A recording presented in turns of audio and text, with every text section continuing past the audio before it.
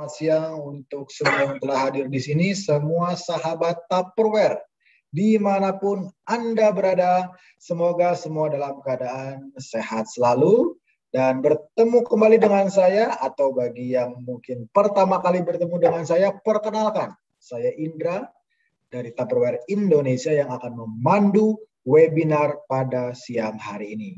Terima kasih atas waktu dan kehadiran semua sahabat Tupperware pada webinar siang hari ini. Tentunya kita senang sekali berkesempatan berkumpul walaupun secara online dan e, mendapatkan akan mendapatkan tips finansial bersama pakar keuangan di Indonesia. Nah, kepada sahabat Tupperware semua yang sudah hadir, mungkin bisa menyapa melalui kolom chat dengan memperkenalkan diri dan asal distributornya ya. Eh, tadi saya sudah melihat eh, ada beberapa yang sudah eh, menyebutkan namanya dan memperkenalkan diri dengan menyebutkan nama distributornya. Nah, sekarang yang lain semuanya yang belum silahkan diketik Anda dari mana ya kan nama namanya siapa terus dari distributorship mana atau anda siapa terus apa namanya misalnya dari kotanya aja juga boleh ada Ibu Zulaikah di sini, Bu Wirtin juga sudah. Dan siapa lagi yang hadir di sini? Bu Sri Mariati. Silakan disebutkan Anda semua dari eh, apa namanya kantor distributorship yang mana. Silakan.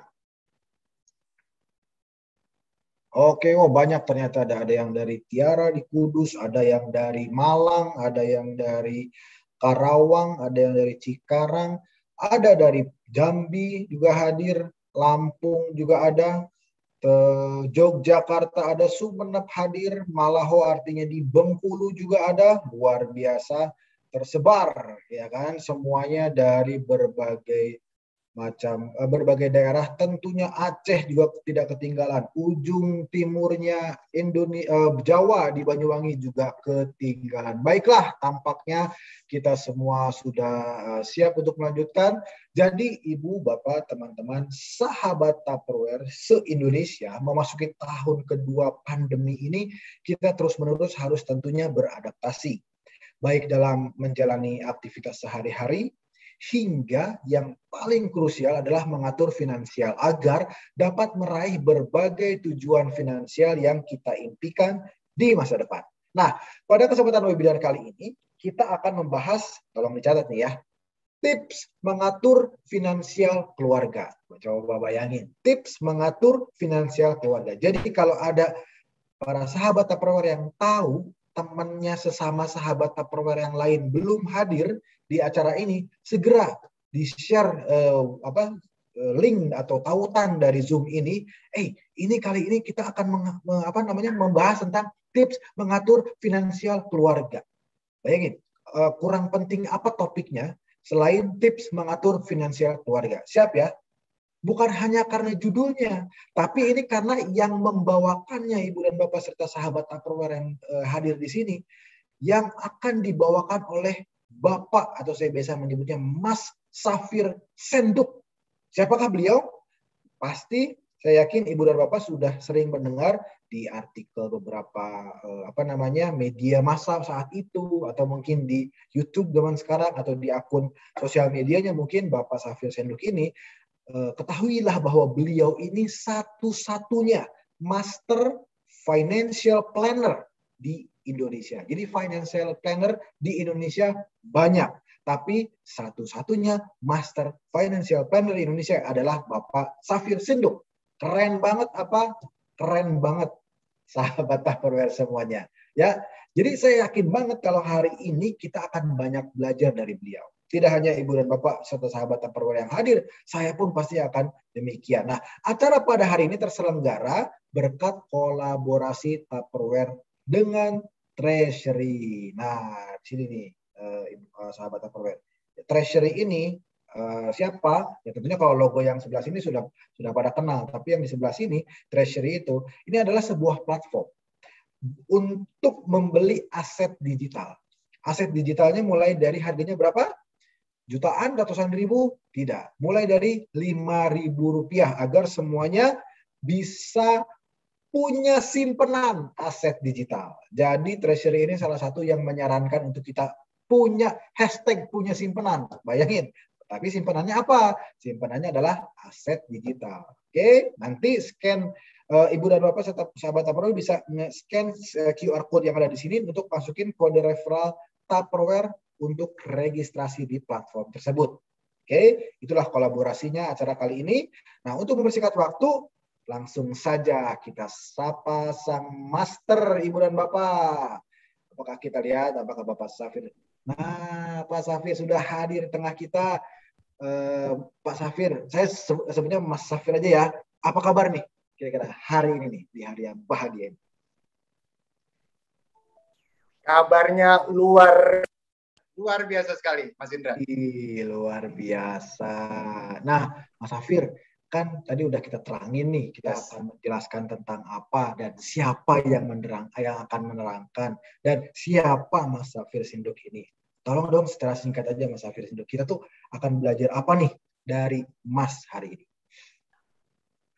Ya, Mas Indra, semua yang hadir hari ini adalah sahabat Tupperware ya, teman-teman saya para pebisnis Tupperware yang luar biasa. Nah, hari ini kita akan belajar tentang bagaimana teman-teman atau sahabat Tupperware itu bisa mengelola keuangannya dengan baik, termasuk di antaranya keuangan bisnisnya, kemudian hmm. juga bagaimana mereka bisa melakukan investasi dari penghasilan yang dia dapatkan. Karena percuma mas ya punya penghasilan bagus, eh tapi nggak diinvest. Nah itu jangan sampai seperti itu. Ya, Jadi, betul seperti sekali. itu. Kita akan belajar bagaimana caranya. Nah setelah kita mendengar bocorannya nih, sahabat Tupperware, dari Mas Hafir sendiri langsung tentang topik yang akan kita kupas tuntas hari ini, pasti sahabat Tupperware makin penasaran. Saya yakin banget, saya kenal banget sahabat Tupperware. Setelah dibocorin ini pasti makin penasaran. Nah, ikutin sesi webinar ini hingga akhir.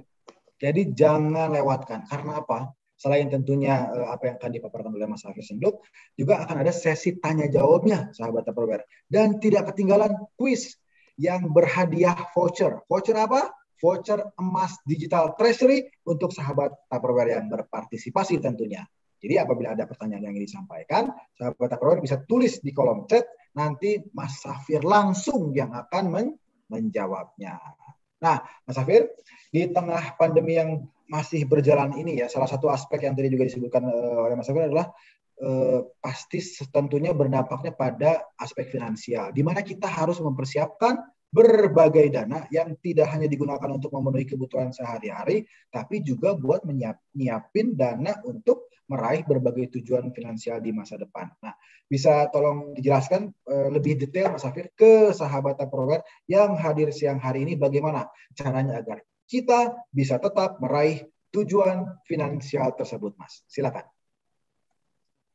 Oke, baik Mas Indra. Kalau begitu saya langsung mulai saja. Oke. Oh. Ya. ya. Oke. Baik, uh, terima kasih uh, Mas Indra, teman-teman sahabat Tupperware yang saya cintai luar biasa senang sekali saya Safir Senduk bisa ketemu sama Anda pada hari ini. Jadi uh, banyak orang tanya ke saya atau biasanya kita di Indonesia selalu biasanya apa yang kita lakukan kalau kita bekerja sebagai karyawan, kalau misalnya kita ber, ber, berbisnis, kalau kita buka usaha dan lain sebagainya, yang ada di pikiran kita adalah kita ingin supaya kita bisa makmur, kita bisa kaya, makmur dan sejahtera. Sebagian orang di antara mereka ada yang bekerja untuk mereka bisa bayar pengeluaran-pengeluarannya. Tapi bagi sebagian yang lain mereka mereka itu bekerja tidak hanya untuk bayar pengeluarannya, tapi untuk bisa mencapai kekayaan, kemakmuran, dan kesejahteraan. Yang menarik juga adalah, ini yang menarik, Mas Indra dan teman-teman sahabat Tupperware yang saya cintai, yang menarik adalah banyak orang mengira bahwa kalau untuk menjadi kaya, makmur, dan sejahtera, caranya adalah dengan cara bekerja di satu bidang yang mendapatkan penghasilan sangat-sangat besar ya bekerja di satu bidang yang mendapatkan penghasilan sangat sangat besar. Jadi kalau misalnya kita bekerja di satu bidang kemudian kita mendapatkan penghasilan besar dari situ, kita akan jadi kaya, makmur dan sejahtera. Makin besar penghasilannya, makin kaya, makmur dan sejahtera dia gitu ya.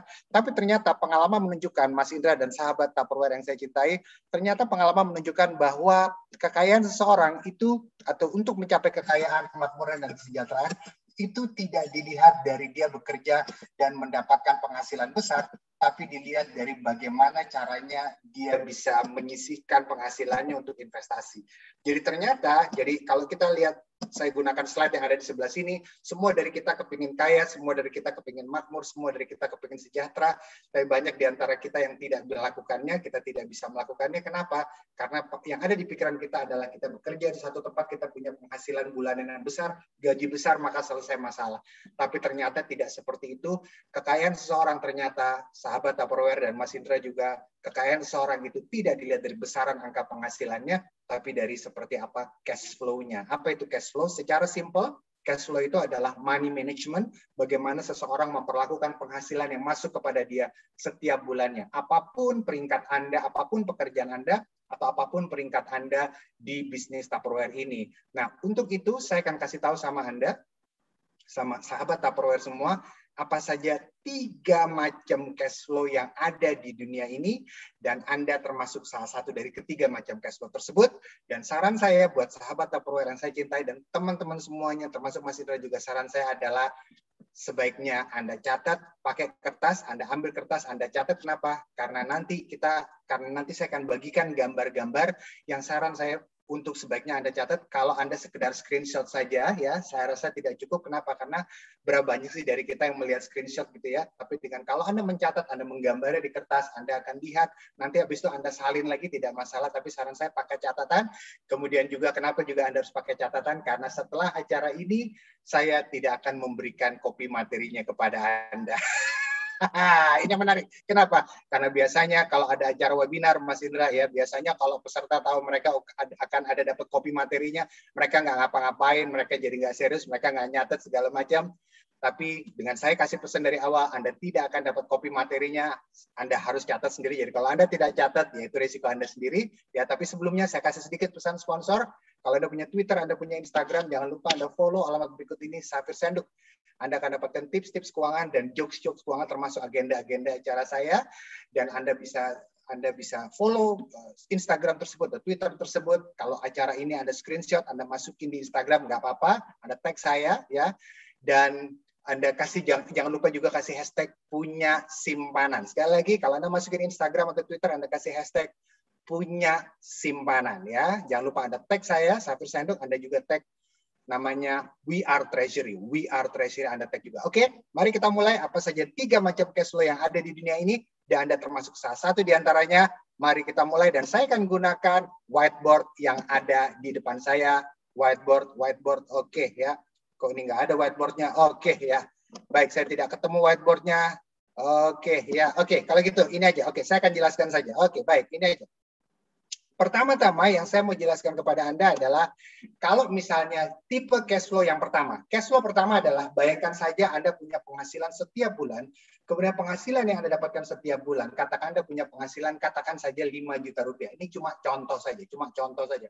Anda dapat penghasilan 5 juta rupiah, kemudian setelah Anda dapat penghasilan 5 juta rupiah, maka uang yang Anda keluarkan juga 5 juta rupiah juga maka selamat Anda disebut dengan istilah atau cash flow orang miskin. Jadi orang miskin adalah orang di mana berapapun penghasilan masuk, dia pengeluarannya habis, penghasilan tersebut habis untuk pengeluaran. Dia disebut dengan nama orang miskin. Jadi orang miskin adalah berapapun penghasilannya, penghasilannya habis untuk pengeluaran. Jadi pertanyaannya sekarang adalah kalau penghasilan 5 juta, 5 jutanya dikeluarkan, habis, maka dia disebut miskin. Pertanyaannya, Mas Hafir, penghasilan saya bukan 5 juta per bulan, berapa? 10 juta per bulan, berdua dengan pasangan saya. Oke, kalau Anda masuk 10 juta per bulan, keluar juga 10 juta juga, maka selamat Anda tetap disebut dengan istilah orang miskin. Loh, Mas Hafir tunggu dulu. Saya penghasilannya bukan 5 juta, saya penghasilannya bukan 10 juta, saya penghasilannya adalah 15 juta rupiah. Kalau Anda masuk 15 juta rupiah, keluarnya juga 15 juta juga, maka selamat Anda tetap disebut dengan istilah orang miskin. Mas Hafir, Mas Hafir tunggu. Kalau saya masuk 20 juta sebulan, keluarnya 21 juta rupiah sebulan, masuk 20 keluar 21, maka saya menyebut Anda orang yang berada di bawah garis kemiskinan. Kenapa? Karena berapapun penghasilan yang masuk Anda habis, bahkan Anda defisit. Pertanyaannya sekarang, padahal mana yang lebih berat tanggung jawab pekerjaannya? Penghasilan 5 juta, 10, 15, apa 20 juta? 20 juta paling berat tanggung jawabnya. Tetapi kalau penghasilan tersebut habis-habis juga, ngapain Anda kerja dengan penghasilan 20 juta sebulan? Lebih baik Anda kerja dengan penghasilan lebih sedikit, tapi dengan penghasilan lebih sedikit tersebut, Anda toh Anda nggak bisa nabung juga, Anda nggak akan nabung juga. Jadi intinya adalah cash flow tipe pertama adalah cash flow orang miskin, berapapun uang masuk, dia uang masuk uang masuk tersebut habis untuk pengeluaran yang tidak jadi barang tapi habis seperti telepon, telepon, listrik, air, susu anak, ngopi, ngopi, ngopi, ngopi, ngopi, ngopi, ngopi, seperti itu ya, habis. Itulah cash flow tipe pertama yaitu orang miskin. Kedua, mari kita lihat cash flow tipe kedua.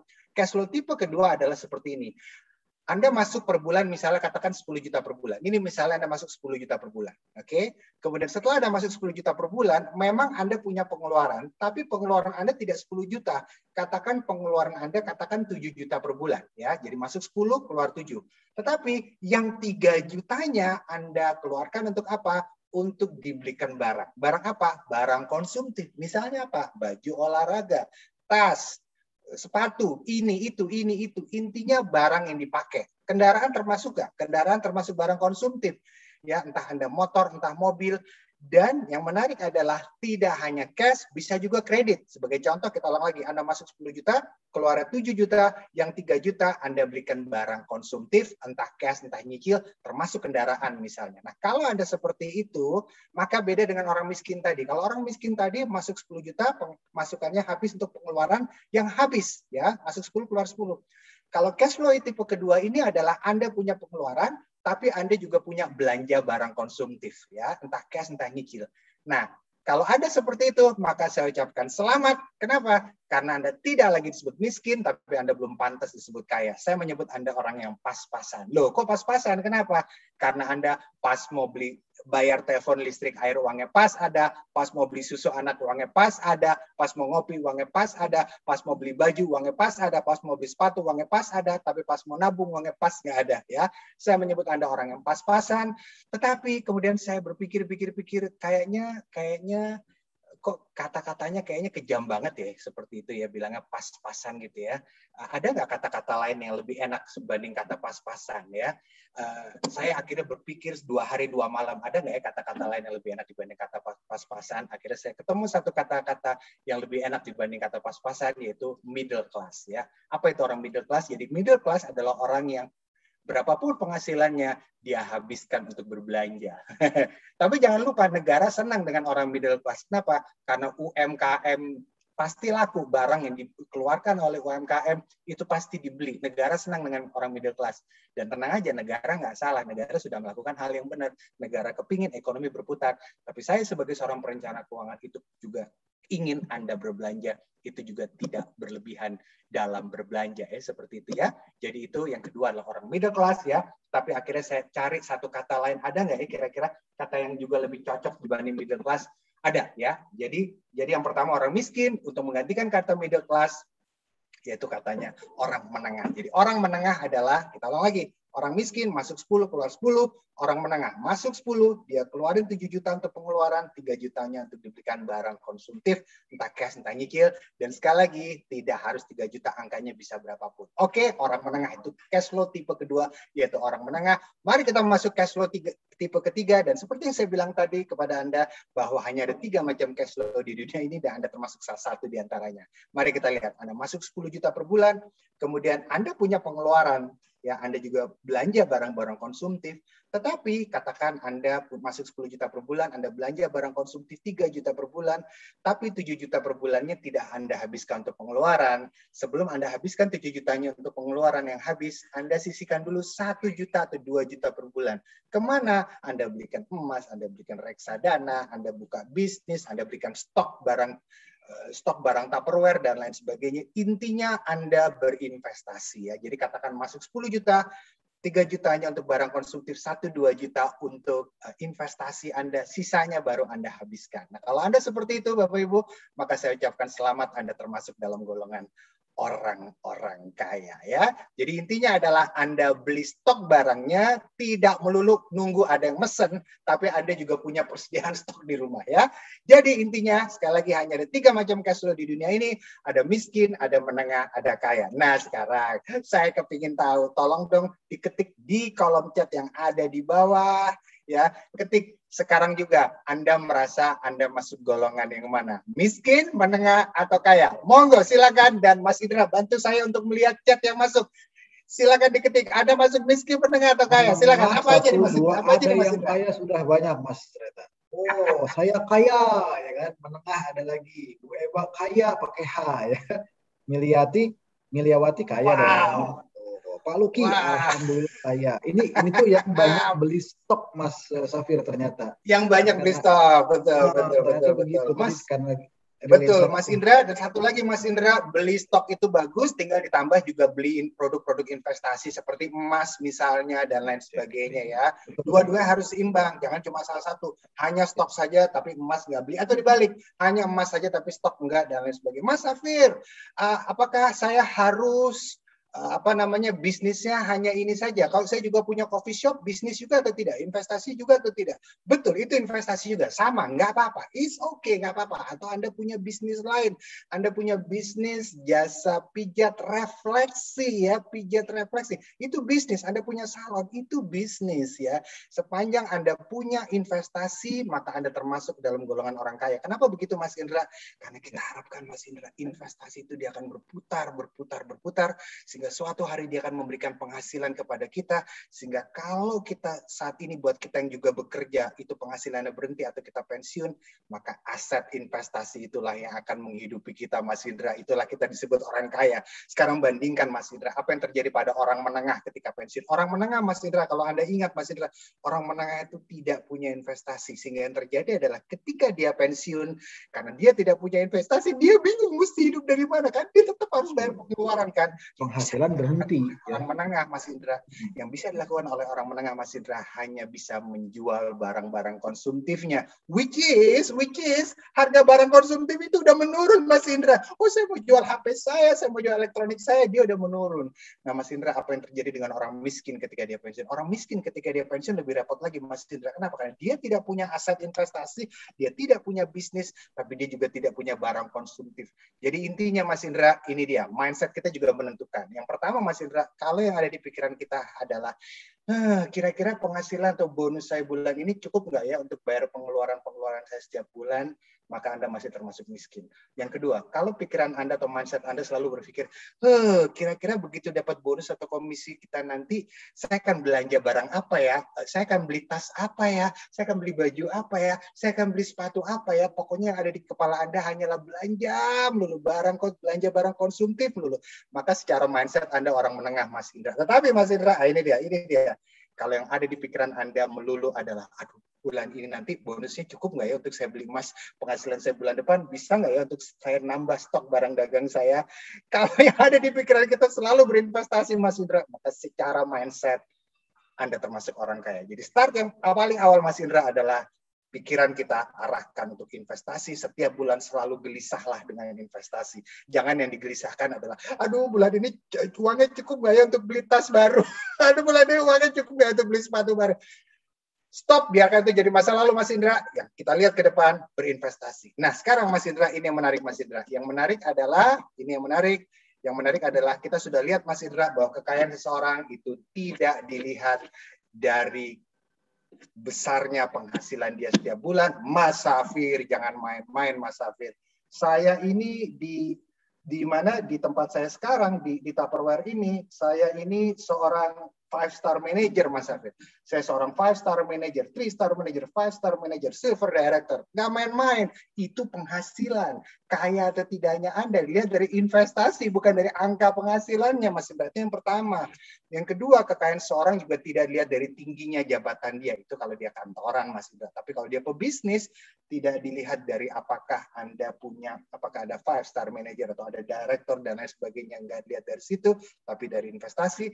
Dan yang ketiga, Mas Indra, kekayaan seorang itu juga tidak dilihat dari banyaknya barang konsumtif yang dia punya. Mas Afir, tas mahal saya ada tiga, Mas mobil saya ada dua ya, tas saya ada ini ini nih, tidak dilihat dari banyaknya barang konsumtif tapi dilihat dari investasi yang Anda punya, makin banyak investasi makin kaya Anda. Ya, tetapi jangan salah paham, jangan salah paham. Kalau begitu Mas Safir, karena Mas Safir mengatakan kekayaan itu dilihat dari investasi, berarti besar penghasilan bulanan saya nggak penting dong mas gitu ya. Berarti ngapain saya di bisnis ini, saya ngejar karir yang tinggi. Jangan salah mas Indra, besaran angka penghasilan kita setiap bulan itu juga penting, bahkan sangat-sangat penting. Kenapa? Karena makin besar angka penghasilan kita setiap bulan, makin besar juga kita bisa invest mas Indra. Yang salah mas Indra ini masalah. Yang salah adalah besar penghasilan penghasilan itu besar, tapi dia nggak invest. Nah, dan ini banyak Mas Indra. Tapi Mas Indra, ini ada double salah. Penghasilan nggak besar, udah gitu nggak invest pula. Ini dua itu juga salah. Jadi besar penghasilan itu penting, dan karena saya katakan besar penghasilan itu penting supaya Anda bisa invest lebih banyak, yang saya mau kasih tahu sama Anda adalah Anda beruntung. Kenapa? Karena Anda pada saat ini sudah berada di profesi yang tepat. Pada saat ini Anda sudah berada di profesi yang tepat. Kenapa? Karena profesi Anda saat ini sebagai seorang pebisnis di Tupperware itu membuat Anda punya potensi mendapatkan penghasilan yang sangat-sangat-sangat besar dan tidak terbatas. Saya lagi, saya lagi bisnis yang Anda tekuni sekarang atau profesi yang Anda tekuni sekarang sebagai seorang pebisnis di Tupperware itu sudah sangat-sangat tepat. Kenapa? Karena bisnis Anda itu punya potensi memberikan Anda penghasilan yang tidak terbatas. Bah, dengan penghasilan yang tidak terbatas itu Anda punya kesempatan untuk invest lebih banyak. yang salah adalah udah profesinya tepat, penghasilan Anda bagus, Anda nggak invest. Itu yang salah ya. Oke, jadi ini yang menarik. Dan sekarang pertanyaannya sekarang adalah dengan profesi yang tepat, dengan penghasilan yang tidak terbatas itu, apa yang harus saya lakukan supaya saya punya investasi? Nah ini dia Mas Indra, ada tiga hal yang harus Anda lakukan sebagai seorang pebisnis di Tupperware atau sahabat Tupperware untuk bisa money management, untuk bisa money management, mengelola penghasilan Anda untuk Anda bisa punya investasi. Mari kita mulai ini dia tiga h dan saya ingin pastikan kepada anda, anda masih nyatet nggak ya? Anda masih ikutin saya nggak ya? Anda masih nyatet nggak ya? Karena ingat sekali lagi materi ini selatnya tidak akan saya bagikan kepada anda setelah acara. Jadi kalau anda tidak catat itu resiko anda sendiri. Mari kita mulai. Tiga hal yang harus anda lakukan. Mari kita mulai. Yuk. Yang pertama adalah ini dia. Anda harus punya uang tunai yaitu dana darurat. Jadi dana darurat berupa uang tunai. Kenapa? Jadi begini, dana darurat itu adalah sebuah dana yang Anda miliki di mana kalau terjadi apa-apa pada sistem perbankan kita, pada ATM kita dan lain sebagainya, dan di mana Anda tidak bisa mengakses penghasilan Anda, Anda masih bisa mengakses dana darurat tersebut untuk membayar pengeluaran-pengeluaran Anda. Bukan dia bilang, Mas Hafid, kita di Indonesia, nggak mungkinlah ATM itu mati, nggak mungkinlah ini, nggak mungkin itu. Kita nggak pernah tahu, Bapak Ibu. Kita nggak pernah tahu tiba-tiba ada amit-amit, amit-amit tiba-tiba ada bencana alam, Anda tidak bisa akses ATM Anda, tiba-tiba ada kerusuhan, Anda nggak bisa akses uang Anda dana darurat Anda ini pegang peranan di sini. Dana darurat Anda itu bisa menyelamatkan Anda dari kejadian-kejadian seperti itu. Jadi sekali lagi Anda memiliki dana darurat dan jangan pernah ini dia, jangan pernah berada dalam kondisi kehabisan uang tunai. No, no, no, no. Jangan pernah berada dalam kondisi kehabisan uang tunai. Harus punya dana, dana darurat berupa uang tunai. Dan uang tunai itu tidak harus dulu berupa uang tunai. Jadi sekarang pertanyaan adalah berapa banyak dana darurat yang saya butuhkan. Itu aja ya. Berapa banyak dana darurat yang saya butuhkan ini dia. Kalau kita bicara berapa banyak dana darurat yang kita butuhkan, saya selalu bilang begini, di masa seperti sekarang, dana darurat yang dibutuhkan itu adalah kurang lebih sebesar 2 sampai 3 bulan pengeluaran keluarga.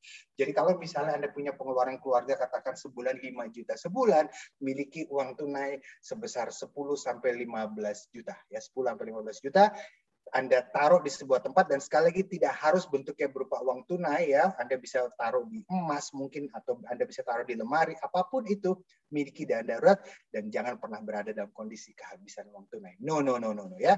Pertanyaannya, Mas Afir, hmm, hmm. kalau ada HP bagus gimana Mas? kalau ada HP bagus Mas Afir, saya kok naksir HP bagus itu ya. Tapi saya mau beli nggak ada uang. Tapi ada dana darurat. Dan HP ini kayaknya darurat Mas ya. No, no, no. Itu bukan darurat. Itu kondisi keinginan yang Anda darurat-daruratkan Mas Indra ya. Jadi intinya Anda miliki dana darurat sebesar 2-3 bulan pengeluaran. Dan kalau Anda tidak cukup dana daruratnya pada saat ini, Anda bisa menyisihkan secara rutin dari penghasilan Anda dari Tupperware. Penghasilan Anda dari Tupperware Anda sisihkan secara untuk membentuk dana darurat tersebut. Nah sekarang pertanyaannya ini saya kasih ada satu pertanyaan sederhana. Tolong ingat-ingat lagi sekarang uang tunai yang Anda punya di rekening Anda, ingat-ingat lagi, atau emas Anda atau apa pun juga Kalau disetarakan dengan pengeluaran bulanan Anda, kira-kira uang tunai Anda pada saat ini itu setara dengan berapa bulan pengeluaran sih? Apakah setara dengan satu bulan pengeluaran? Apakah setara dengan dua bulan, tiga bulan, enam bulan, ataukah nol bulan? Silakan ketik sekarang juga di kolom chat. Saya mau tahu seberapa banyak dana darurat yang Anda punya sampai saat ini. Mas Indra, bantu liatin Mas Indra. Berapa banyak dana darurat yang dimiliki teman-teman atau sahabat Tupperware saat ini? Oh, Ternyata rata-rata tiga bulan, Mas. Tiga bulan. Ada yang enam bulan tadi sempat lewat. Mas Indra, ada yang jawab tadi saya lihat ada yang setara satu tahun pengeluaran. Hmm, kalau satu tahun kegedean sih Mas Indra, sayang yang ya, mending ya. beli stok Tupperware, betul lah? Mending beli ya, beli stok atau diinvestasikan ya Mas. Diinvestasikan, ya. jangan nol juga Mas Indra ya. Jangan 12 bulan kebanyakan, tapi juga jangan nol juga. Tapi rata-rata Mas Indra saya masih bisa 2 3 bulan, 2 3 bulan. Kalau ada yang 6 bulan uh, masih ada kebanyakan. Oke, cukup jawaban Anda. Kemudian ya. satu lagi Mas Hafir, Mas Hafir saya uh, mungkin saya penghasilan Anda nggak masalah buat Anda yang pebisnis full time di Tupperware atau buat Anda yang juga bekerja di tempat lain mungkin penghasilan Anda nggak masalah. Tapi kok Anda nggak punya dana darurat ya? Mungkin karena dana tersebut Anda belikan sofa, mungkin Anda belikan elektronik dan lain sebagainya. Perhatikan, coba lihat kalau ada yang bisa atau ada barang di rumah yang mungkin Anda tidak terlalu pakai, jual aja nggak ada masalah. Anda jual, maka terus uangnya Anda jadikan dia dana darurat ya. Tapi ingat, Bapak Mas Hafir malu-maluin nah, masa saya mesti jual sofa saya atau elektronik. Zaman dulu orang ngejual elektronik atau sofa mungkin malu-maluin. Zaman dulu. Sekarang kalau Anda menjual aset Anda yang tidak terpakai, maka Anda smart. Saya lagi, saya lagi, saya lagi ya. Jangan malu menjual barang Anda yang tidak begitu sering terpakai. Kenapa? Karena zaman dulu orang menjual barang mungkin dia malu-maluin. Kenapa? Karena zaman dulu orang menilai orang lain dari kepemilikan aset. Betul nggak? Wow, dia kaya, dia punya banyak sekali sofa di rumahnya. Wow, gitu ya. Zaman dulu kalau Anda menjual aset Anda di rumah, Anda akan dianggap butuh uang. Betul? Anda akan dianggap, wah, dia lagi kesulitan uang tuh itu zaman dulu. Tapi sekarang tidak. Kalau Anda menjual aset yang tidak terpakai, maka saya menyebut Anda smart, Anda pintar, Anda cerdas ya. Nggak usah peduli omongan orang, yang penting Anda punya dana darurat ya. Dan satu lagi pertanyaannya, ke mana sebaiknya Anda taruh dana darurat tersebut? Yang pertama, Anda bisa taruh di lemari Anda, atau yang kedua, Anda bisa belikan emas. Emas itu, Mas Indra, tidak mudah dicairkan, tapi juga tidak terlalu sulit untuk dicairkan, Mas Indra ya. Jadi seperti itu. Tiga kiat, kiat pertama sudah selesai, miliki dana darurat. Oke, mari kita masuk kiat kedua.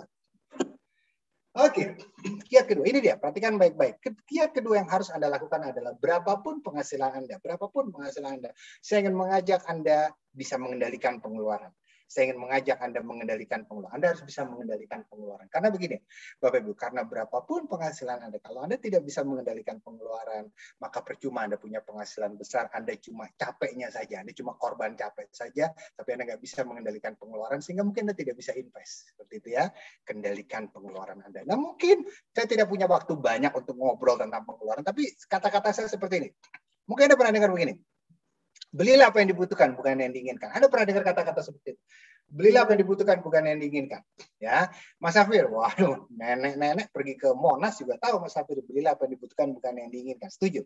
Tapi tahukah Anda, Bapak Ibu, tahukah Anda bahwa ternyata 70% dari transaksi pembelian orang di mall atau di marketplace, 70% itu terjadi karena emosi, karena keinginan, bukan karena kebutuhan.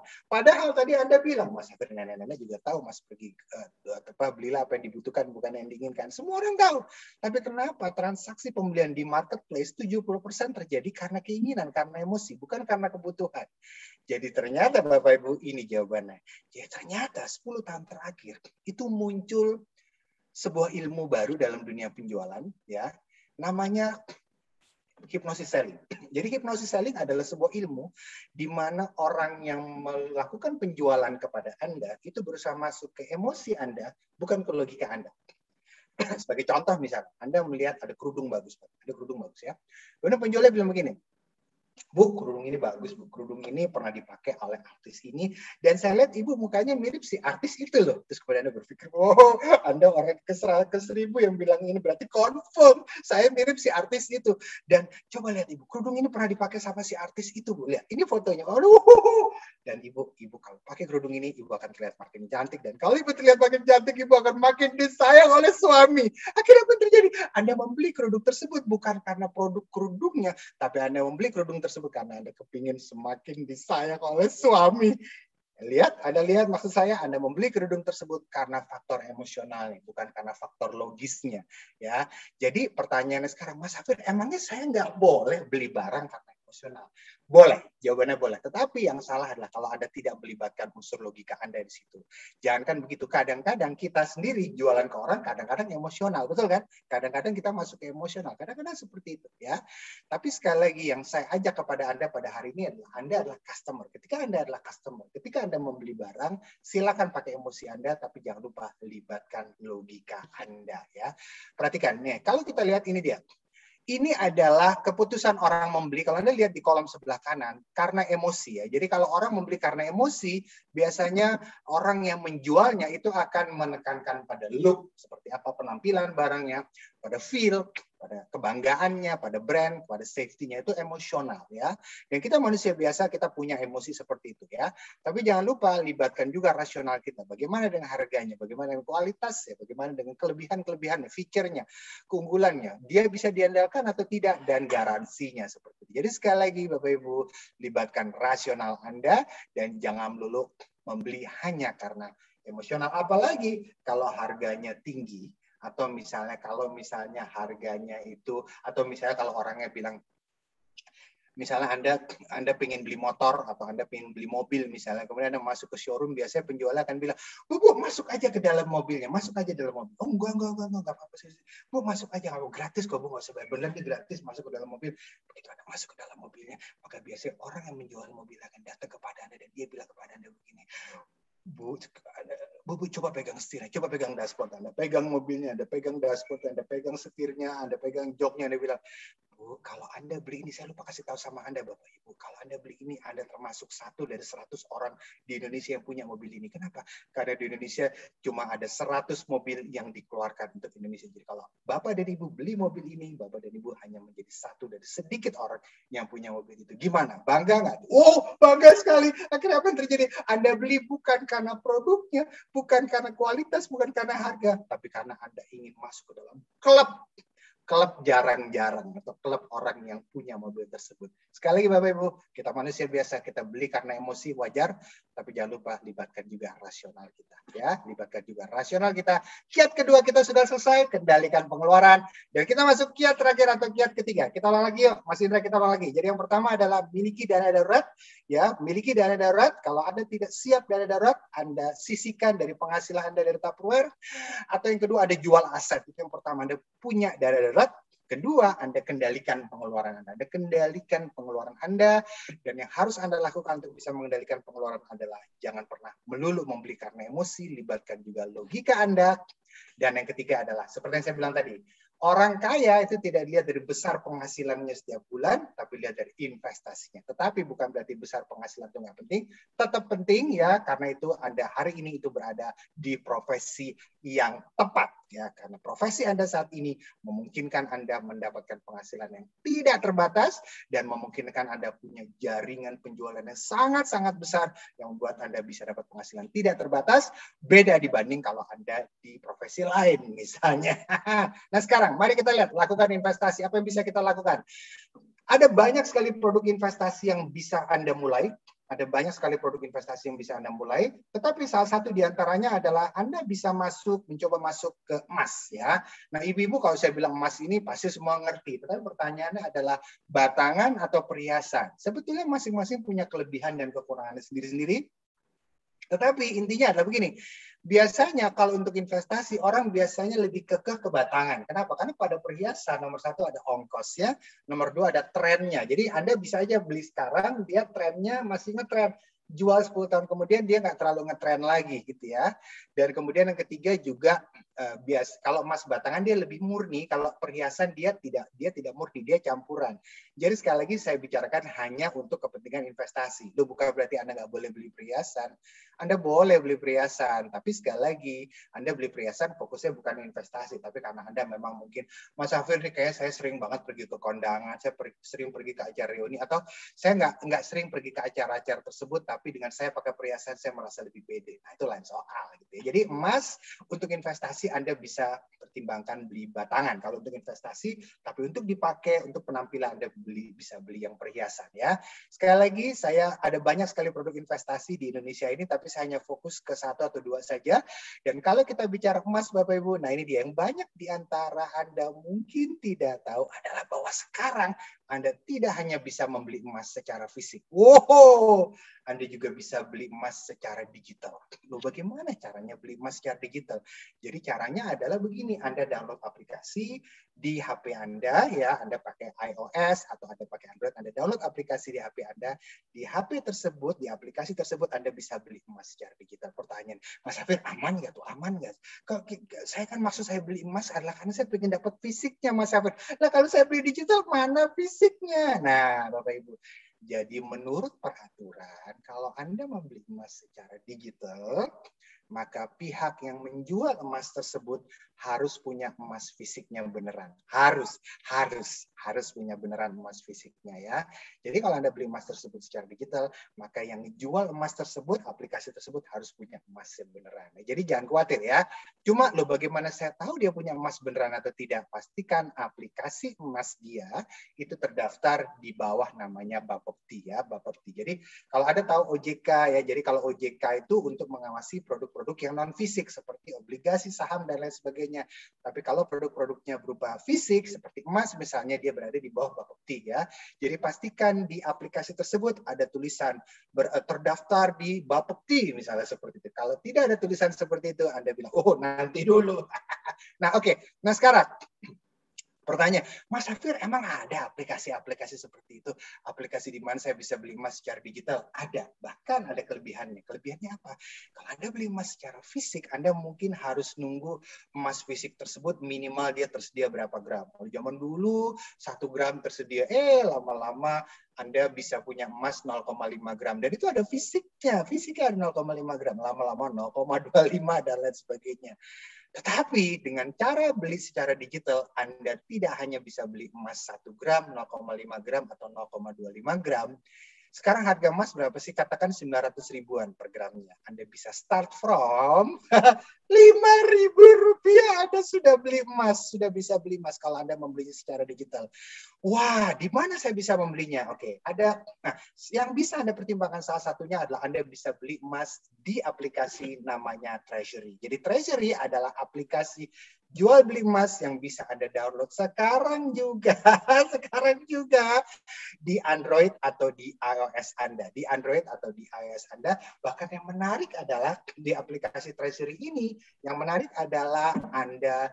Jadi kalau saya tunjukkan sama Anda, ini screenshotnya ya. Dan oh ya, Anda jangan lupa Anda follow juga Instagram Treasury sekarang juga di We Are Treasury. We Are Treasury. Silakan Anda follow di Instagram We Are Treasury dan di aplikasi Treasury tersebut ini Anda tidak hanya bisa punya emas, Anda juga bisa punya aset kripto atau aset digital. Jadi buat Anda yang udah sering dengar kripto, kripto, kripto, kripto, kripto, kripto, aduh Mas tapi takut saya belum pernah coba gimana rasanya. Maka dengan hanya 5.000, 10.000, 20.000 Anda bisa belajar dengan biaya yang sangat-sangat minimal. Kalau emas, Anda nggak usah belajar lagi, Anda udah tahu deh ya. Bahkan di aplikasi Treasury ini, Anda bisa di, di aplikasi tersebut Treasury tersebut yang membedakannya adalah bahwa di aplikasi Treasury tersebut Anda bisa punya ada menu namanya rencana emas. Jadi kalau Anda lihat ada download aplikasi tersebut, ini ada di menu ini ada menu rencana emas.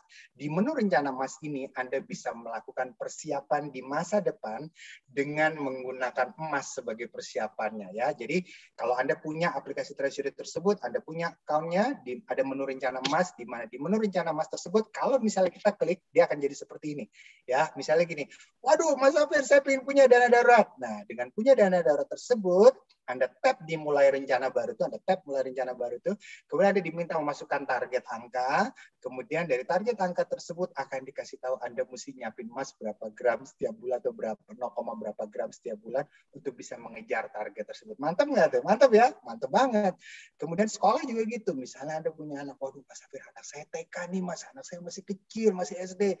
Dia masuk kuliah eh, mungkin 10 tahun, eh, mungkin 10 tahun lagi. Kalau gitu, di menu dana pendidikan ini Anda bisa memperkirakan berapa sih uang kuliahnya itu nanti di masa yang akan datang kemudian di, di, di menu tersebut Anda bisa di, akan, akan dikasih tahu berapa gram emas yang harus Anda siapkan setiap bulan. Mantap nggak tuh? Hanya di aplikasi Treasury ya.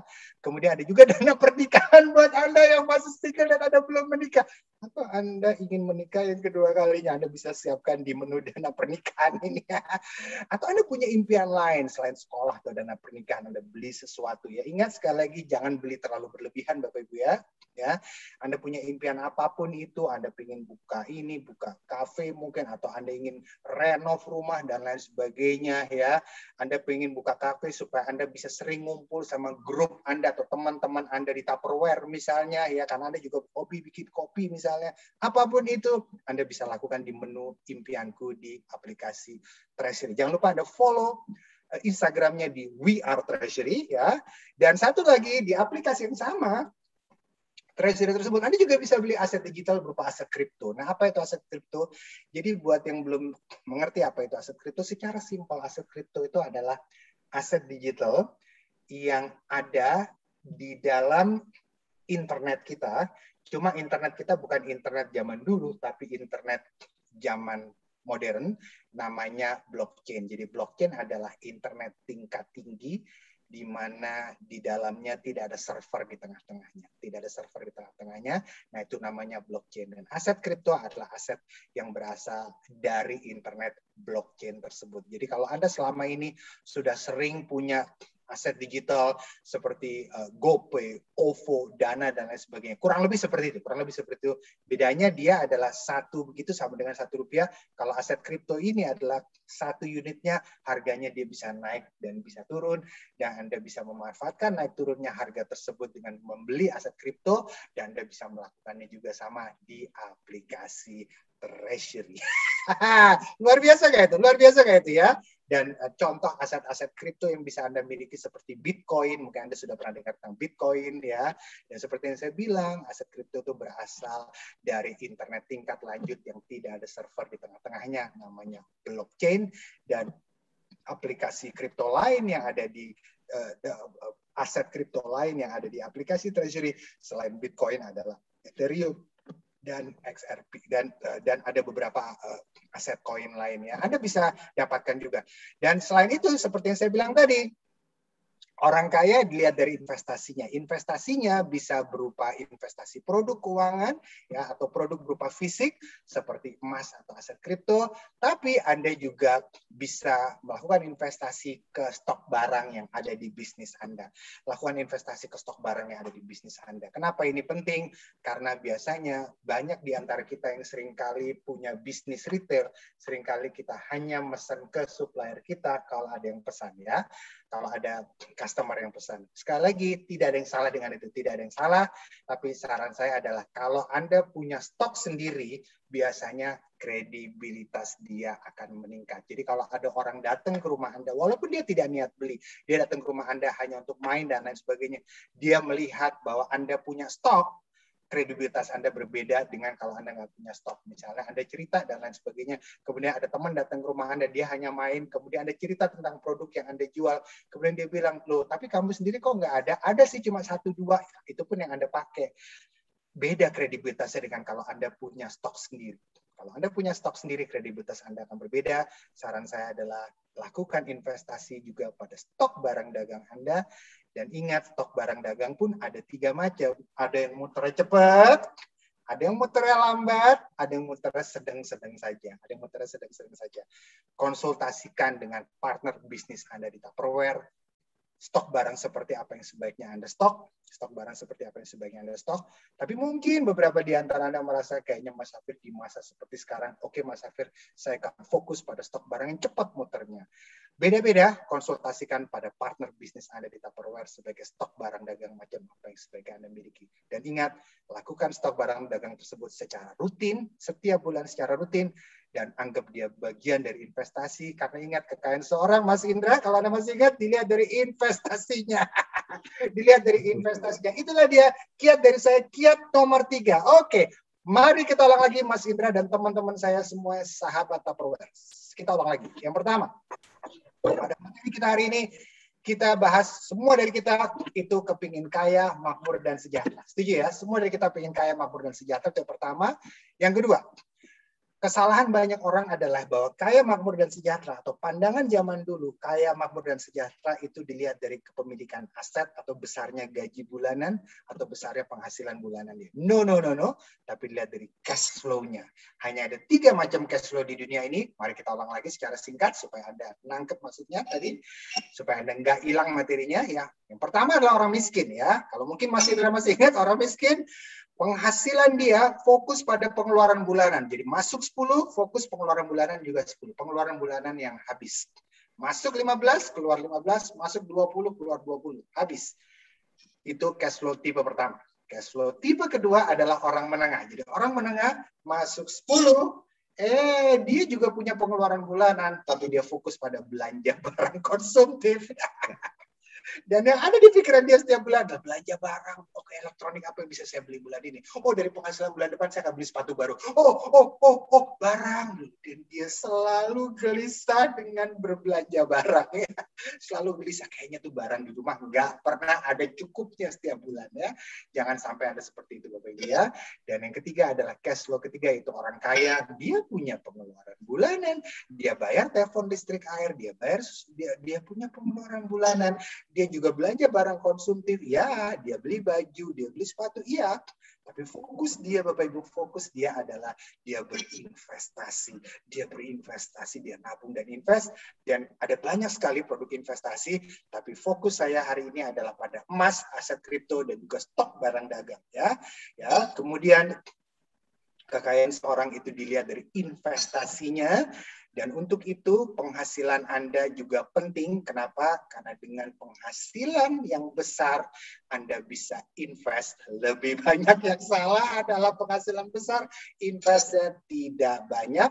Kemudian karena itu profesi Anda saat ini sudah anda sudah terjun dalam profesi yang sangat-sangat tepat karena profesi Anda sekarang punya potensi penghasilan yang tidak terbatas dan memungkinkan Anda punya jaringan penjualan yang sangat-sangat besar yang membuat Anda punya penghasilan tidak terbatas dan dengan penghasilan tidak terbatas itu ada tiga hal yang harus Anda lakukan supaya Anda bisa punya investasi lebih banyak.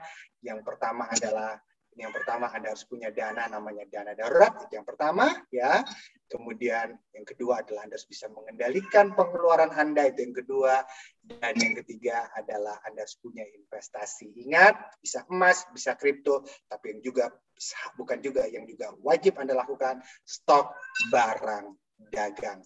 Ya, stok barang dagang. Dan jangan lupa Anda follow Twitter dan Instagram Safir Senduk. Jangan lupa We Are Treasury. Dan itu saja dari saya. Mudah-mudahan bermanfaat. Saya kembalikan kepada Anda, Mas Indra. Silakan Mas Indra.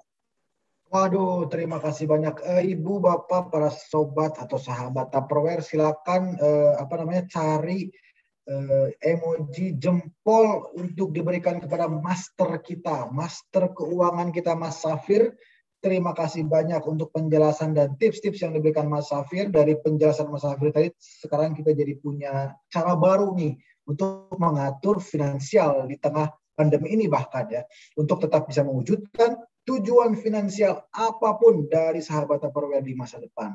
Jadi dalam mengatur finansial keluarga ini itu penting sekali bagi kita buat selalu menyisihkan sebagian dari pendapatan untuk berinvestasi agar keuangan terjaga di masa depan. Jadi selain menggunakan dana yang sudah disisihkan nih buat investasi, kita juga bisa menggunakan dana diam lah atau dana dingin sebagai tambahan simpanan. Jadi bagi sahabat Apro yang ingin bertanya, bisa langsung ya input eh, pertanyaan di kolom komen atau di kolom chat. Nah sambil menunggu Mas Safir boleh ya saya punya uh, pertanyaan. Jadi mumpung mumpung saya juga ada sama master finansial di sini, saya pengen nanya nih sama Mas Afir. Tadi kan Mas Afir menjelaskan kalau menyiapkan dana untuk masa depan itu sebaiknya uh, nggak bentuk uang seluruhnya, tapi ada instrumen-instrumen keuangan lah ya tadi berbagai jenis instrumen keuangan. Nah, bagi saya nih kalau atau bagi tentunya sahabat perwira juga yang di rumah yang memiliki ini yang sama, kalau untuk orang yang relatif dalam hal keuangan takut mengambil resiko,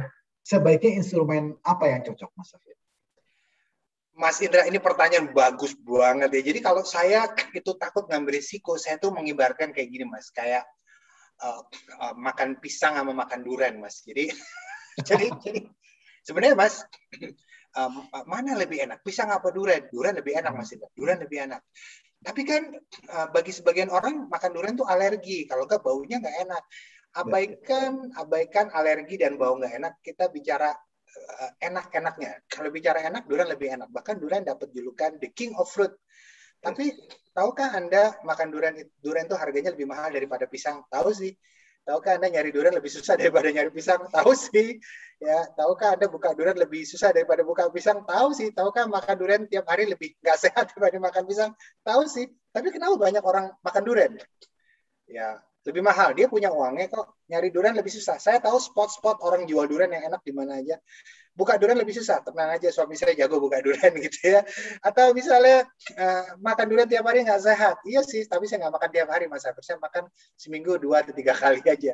Jadi buat saya mas, sebenarnya nggak apa-apa orang itu makan durian sepanjang dia tahu apa aja risikonya dan dia tahu bagaimana menghadapi risikonya. Jadi kalau Mas tanya Mas saya, emas itu emas itu masuk di pisang, duren itu masuk di uh, kripto itu masuk di duren.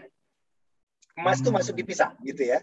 Jadi kalau dia konservatif, dia bisa makan pisang yaitu emas. Tapi tapi kripto itu memang duren ya. Tapi saran saya, walaupun dia duren, jangan jangan pernah dalam hidup Anda tidak pernah merasakan duren sama sekali. Duren itu tetap harus dicoba. Nah, untungnya ada aplikasi yang membuat kita bisa mencoba durian dengan harga sangat-sangat murah. Itu tadi di aplikasi Treasury tadi kita bisa beli aset kripto dengan harga yang sangat-sangat murah dan terjangkau sehingga walaupun dia risikonya besar tapi karena harganya murah kita nggak ada masalah deh karena nggak nggak besar ini angkanya. Jadi sekali lagi Mas, pertanyaan Anda tadi adalah untuk konservatif dia bisa coba emas tapi dia bisa tetap coba kripto dengan angka yang sangat-sangat minimal Mas.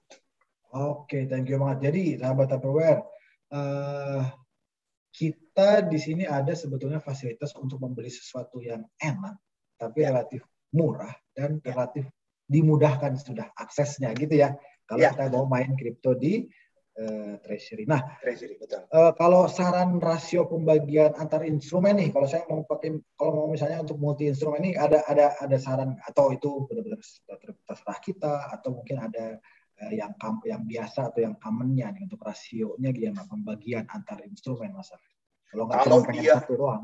Iya iya. Jadi ada dua dua dua pandangan mas. Jadi pertama ada dua sudut pandang. Sudut pandang pertama adalah dari sisi usia. Jadi biasanya mas kalau dia semakin dia muda usianya kepala dua atau kepala tiga gitu ya 20-30-an, semakin dia tidak apa-apa, persentase durennya banyak gitu nggak apa-apa. Ya mungkin 60-40, 60 persen duren atau 60 persen aset kripto, 40 persen emas, nggak apa-apa. Semakin dia meningkat usia, mungkin kepala tiga, kepala empat atau kepala lima mungkin, semakin emas yang diperbanyak mas, kriptonya agak diturunin, seperti itu ya. Itu kalau dari sudut pandang dari sudut pandang luar umur. Yang kedua bisa juga dilihat dari sudut pandang profil risiko dari orang yang bersangkutan, Mas Indra. Profil risiko itu begini, ada Mas Indra orang yang masih muda, walaupun saya bilang kamu kan masih muda, nggak apa-apa duren aja nggak apa-apa. Iya sih, tapi saya takut. Jadi dia walaupun masih muda, dia takut makan duren, dia maunya pisang aja. Gitu. Ada Mas. Sebaliknya ada juga orang yang dia sudah sudah usia kepala lima atau kepala enam atau kepala tujuh, nggak mau makan pisang Mas. Saya maunya duren aja tetap. itu iya, iya, iya. itu profil risiko. Jadi ada orang yang dia usia usia-usia 60 70 dia investasi saham. Padahal kita tahu saham itu kencang juga ya turun naiknya karena karena secara profil dia begitu. Tapi sekali lagi kalau dilihat secara jawaban secara general makin muda usianya semakin tidak apa-apa dia angkanya besar di duren atau kripto tadi Mas. Ya, ya. ya ini banget apa namanya? perumpamaan perumpamannya gampang sekali. Jadi kalau makin makin muda itu kan makin kecil resiko yes. kolesterolnya. Jadi makan durian masih nggak apa-apa. Ternyata tapi ada juga orang tua yang nggak kolesterolan karena hidupnya yeah, yeah, yeah, yeah, yeah. profil resikonya dia se bisa serani itu gitu ya. Betul, nah, sobat Tupperware eh, pengen banget ini jadi obrolan saya berdua sama Mas Safir dong ini nggak ngomong-ngomongin tentang investasi kan menarik banget. Tapi tentunya ini adalah acaranya sahabat Tupperware dan tentunya kita memberi kesempatan kepada sahabat Tupperware untuk berpartisipasi tentunya dalam Q&A ini. Jadi kalau untuk sahabat Tupperware yang berpartisipasi ini akan mendapatkan voucher emas digital dari Treasury senilai 25.000. Ayo bagi sahabat Tupperware yang bertanya silakan. Input pertanyaannya sekarang di kolom chat pasti kita bacakan. Mumpung masternya ada di sini, jadi kita akan bertanya kepada masternya langsung gitu ya. Nah, eh, ini ada pertanyaan dari, oh, udah banyak ternyata Mas Sofi.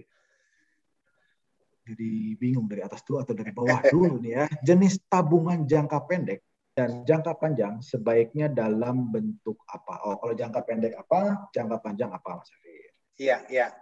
Kalau di dua produk tadi, kalau dua produk tadi emas itu saya bilang tuh lebih ke menengah panjang emas itu menengah panjang jadi artinya adalah sekali ya, gini uh, uh, kuncinya pada emas adalah jangan gini. biasanya emas itu Mas Indra ciri-cirinya atau pengalaman menunjukkan bahwa emas itu akan naik drastis nilainya drastis loh ya kalau terjadi satu dari tiga kondisi sebagai berikut. Satu dari tiga kondisi sebagai berikut. Pertama, Mas, adalah kenaikan harga atau inflasi. Ya, biasanya makin tinggi akan inflasi, makin tinggi kenaikan harga emas. Kenapa? Karena biasanya Mas Indra, semakin tinggi inflasi, orang semakin mencari investasi yang ada barangnya. Emas itu kan ada fisiknya, ada barangnya ya, seperti itu. Itu pertama. Kalau inflasinya biasa, emasnya naik juga naik kecil, biasa gitu. Yang kedua, emas akan naik drastis kalau terjadi kenaikan harga dolar. Biasanya kalau kenaikan harga dolar, emas akan naik drastis. Ya. Dan yang ketiga, sekali lagi ini ini ini tidak selalu, tapi sering terjadi seperti itu. Dan yang ketiga, emas akan naik drastis kalau terjadi kerusuhan atau ketidakstabilan politik. Ya. Kerusuhan atau tidak stabil. Pokoknya ada kerusuhan atau tidak stabil politik, emas akan naik drastis. Pertanyaannya, berarti saya harus ngarepin ada kerusuhan dulu atau dolar naik dulu baru emas naik drastis ya, atau inflasi Jawaban saya adalah saya sih nggak ngarepin mas.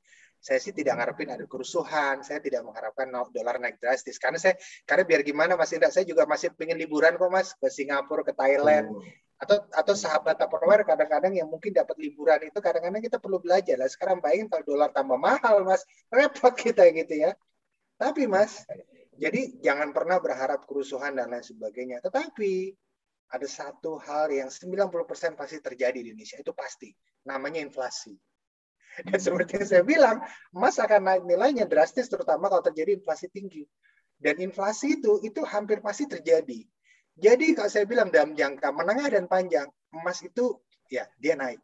Tapi kalau dalam jangka pendek ya mungkin mungkin Anda bukan ke emas ya, pendeknya tentunya beda-beda masih Indra. Pendek bagi sebagian orang satu tahun atau kurang itu pendek, bagi sebagian orang pendek itu tiga bulan, beda-beda ya.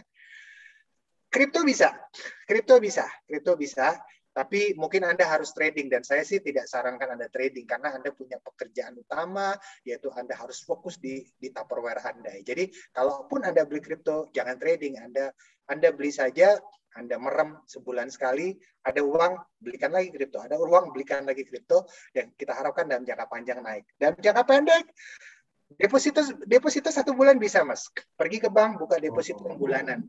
Ya, ingat biasanya deposito tiga deposito dan bahkan kalau dananya lebih besar, beberapa bank menyediakan deposito harian. Itu namanya deposito on call. Jadi deposito itu harian biasanya. Tapi sekali lagi untuk jangka pendek, deposito satu bulan atau tiga bulan itu bisa dipertimbangkan. Mantap sekali. Ternyata uh, banyak uh, contohnya. Uh, Ibu Umi tadi yang bertanya, yes. Mas Safir. Oke, nah ini yang juga nggak kalah menariknya nih. Gimana cara mengendalikan keuangan dari faktor eksternal? Jadi di luar rumah tangga pribadi, seperti keperluan orang tua, saudara, yang justru ini waktunya kadang tidak terduga dan sifatnya urgent terkadang memang faktor ekonomi uh, yang bersangkutan. Saya mengerti. Nah, itu gimana? Yes. Mas Indra, saya ngerti banget pertanyaan. Jadi Mas Indra ada semacam penelitian bahwa sekarang generasi jadi yang sekarang milenial itu adalah umur-umur kepala tiga kalau nggak salah ya. Uh, di bawah milenial itu ada namanya Gen Z setelah Gen Z ya. Tapi yang umur belasan saya lupa namanya apa, Alpha apa apa gitu ya.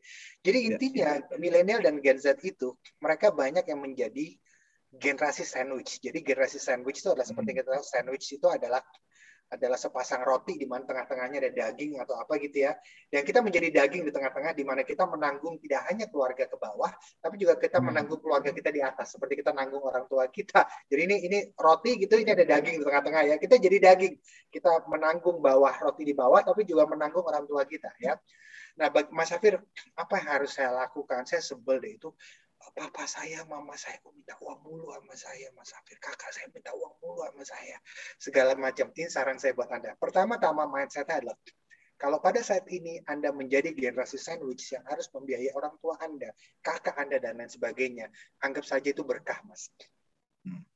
Tidak semua orang itu diberi apa namanya diberi kesempatan untuk memberikan bisa memberikan balasan kepada orang tua. Betul ya ya, ya. kita kita nggak tahu kita bisa ngasih balasan apa. Mungkin ini adalah cara Tuhan memberikan kesempatan kepada kita untuk memberikan balasan kepada orang tua kita dengan cara mungkin membiayai hidupnya ya. Kadang-kadang orang tua kita papa kita nyebelin ibu kita nyebelin it's okay lah biasa ibu sama anak bapak sama anak kadang-kadang nggak selalu cocok. Tapi tapi biar gimana kalau kita membiayai mereka anggap saja itu uh, kesempatan kita untuk membalas ya anggap itu itu mindset yang pertama dulu. Berarti apa yang harus anda lakukan? Ya itu dia pemecahan yang harus anda lakukan adalah kerja lebih giat di Tupperware. Anda bisa berbisnis lebih giat di Tupperware untuk apa? Karena anda punya cita-cita untuk bisa membiayai menjadi pahlawan bagi keluarga anda ya. Tetapi kalau anda tidak mau memiliki penghasilan lebih banyak di, di Tupperware dan itu tidak saya sarankan, berarti Anda harus menekan sisi pengeluaran Anda. Dalam jangka pendek sih bisa Mas Indra, tapi dalam jangka panjang agak susah. Kenapa? Karena pengeluaran kan pasti harga barang kan pasti naik terus. Dan kalau kita menekan pengeluaran satu dua tahun mungkin bisa, tapi dalam jangka panjang dengan harga barang yang terus meningkat, menekan pengeluaran akan sulit dilakukan untuk jangka panjang. Jadi saran saya fokus di bisnis Anda sekarang, fokus di Tupperware karena di bisnis ini Anda bisa dapat penghasilan yang tidak terbatas sehingga memungkinkan Anda untuk bisa menjadi generasi sandwich yang lebih mantap lagi. Baik, Mas Safir uh, pengen banget kita ngebahas udah banyak banget nih pertanyaan cuman karena waktunya yang terbatas kita mohon terakhir nih setelah yes. uh, dari berbagai tadi penyampaian uh, Mas Hafir sendiri terus ke Q&A atau ada hal lain yang ingin disampaikan ada pesan apa nih yang bisa disampaikan ke sahabat Tupperware untuk mengatur finansial agar bisa meraih tujuan finansial yang diimpikan di masa depan iya. Mas Hafir. Mas Mas Indra Mas Indra ada empat hal yang tidak akan kembali di dunia ini Mas empat hal jadi yang pertama adalah waktu yang kedua adalah umur, yang ketiga adalah uang yang dipinjam teman, ya. Yang ketiga dan yang keempat adalah berat badan sebelum menikah. Itu tidak akan kembali di dunia ini. Jadi, nah saya ingin ah, mengajak Anda semua fokus di nomor satu dan dua, waktu dan umur. Tiba-tiba Mas Indra, sekarang kita udah usianya 30, 40 tahun, mau ulang lagi umur 20 nggak bisa Mas Indra. Kita udah usia 50, mau ulang lagi umur 30 nggak bisa. Padahal Mas Indra, salah satu cara terbaik untuk berinvestasi adalah lakukan dari muda. Kenapa? Karena kalau kita lakukan dari muda, kita bisa bikin bola namanya bola salju, Mas. Jadi kalau bola hmm. salju itu kita luncurkan dari atas, dari atas, makin ke bawah dia makin besar.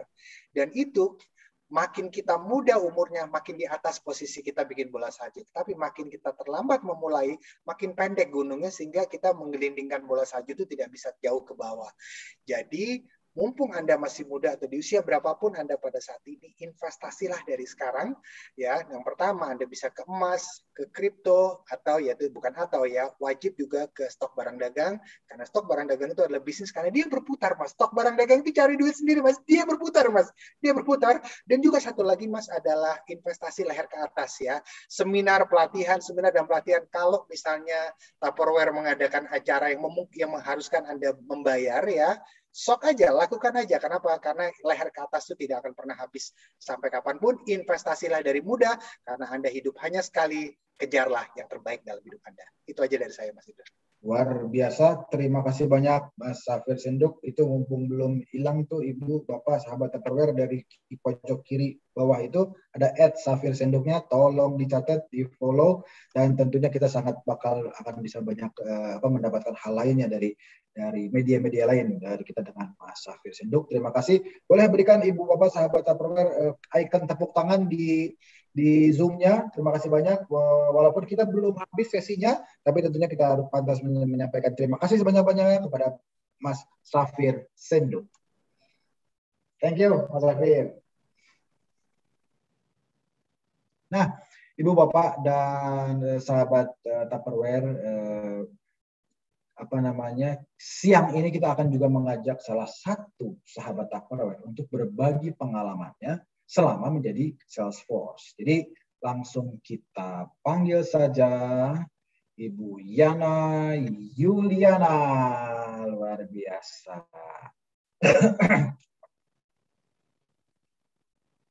Halo Bu Yana. Belum belum di unmute Bu Yana, jadi kita belum bisa mendengar suara Ibu Yana. Ah. saking semangatnya ya, saking, saking sibuk nyatetnya tadi eh, apa namanya eh, pemaparan dari Master Safir, betul ya Bu Yana ya? Ya betul. Gimana gimana Ibu eh, tadi? Eh, apa apa apa yang yang Ibu yang Ibu ini kan dalam rangka tips mengatur keuangan keluarga yang aha momennya satu hal aja barusan itu apa? Ya menarik sekali ya tadi kita, uh, saya udah uh, apa ikuti dari awal sampai akhir jadi memang di bisnis Tupperware itu menurut saya ya Pak ya uh, ini adalah bisnis bisnis yang luar biasa yang pastinya uh, setiap orang yang ada di bisnis Tupperware ini adalah orang-orang yang pengen punya penghasilan ya kan Pak. Nah saya yes. juga sudah sudah pernah ada di posisi punya penghasilan yang luar biasa. Nah memang ini uh, setiap orang yang ada di bisnis Tupperware ini penghasilannya tuh semuanya rata-rata sepertinya sih uh, bagus ya Pak. Cuman memang uh, kebanyakan teman-teman saya tuh uh, kurang bisa mengolahnya gitu Pak. Ah, nah kebetulan sih kebetulan sih uh, uh, saya dari awal karena suka dengan investasi ya jadi Alhamdulillah selama saya punya gaji di Tupperware itu memang saya kelola dengan baik sehingga sampai detik ini sampai saat ini saya sudah memiliki uh, aset investasi yang bisa saya pakai sampai sekarang gitu Pak dari hasil gaji saya gitu. Betul betul betul. Nah eh, Bu Yana tadi tadi ini ini tentunya eh, berkaitan banget dengan apa yang disampaikan salah satu materi Mas Hafid barusan di mana eh, bahwa investasi itu perlu ya investasi dalam betul. hal sebagai bagian dari gimana kita mengelola keuangan, ya kan? Tapi ya. tentunya kita ngomongin investasi tentang pengelolaan ke keuangan yang tidak kalah pentingnya adalah sumber keuangannya tersebut, betul ya? Betul, nah, betul. Apa yang akan dikelola kalau tidak ada e, barangnya, istilahnya gitu kan ya? Apa yang akan dikelola e, kalau ada tidak ada pengelolaan keuangan kalau ada, tidak ada uangnya, istilahnya begitu. Nah, di sini kita menghadirkan contohnya Ibu Yana juga karena kita ingin ingin uh, ibu juga berbagi nih kepada kan sahabat Tupperware di sini kan ada yang mungkin uh, new consultant, ada yang mungkin masih uh, consultant, masih MIQ di sini atau bahkan uh, manajer gitu. Uh, seberapa pentingkah kita memperhatikan uh, sumber penghasilan dari berbisnis Tupperware ini dan dengan cara apakah untuk bisa memaksimalkan potensi penghasilan dengan berbisnis Tupperware ini, Bu Yana? Oke. Okay. Uh, Terima kasih Bapak uh, atas kesempatannya. Kalau saya, kalau saya itu seperti ini Pak. Jadi di bisnis Tupperware itu kan seperti yang sudah kita ketahui ya Pak ya, uh, bisnis itu pasti ada up and down-nya ya Pak ya. Ada ya. up, uh, ada saatnya kita besar penghasilannya, ada saatnya kita menurun juga. Jadi pada saat kita besar, pastikan penghasilan kita juga besar ya Pak ya.